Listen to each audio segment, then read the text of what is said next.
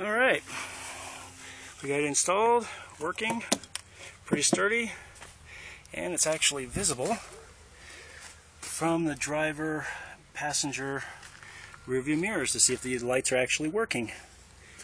As far as this part in here, what I'm going to do is I'm actually just going to seal this off and yeah, seal this hole off and paint and fill it in.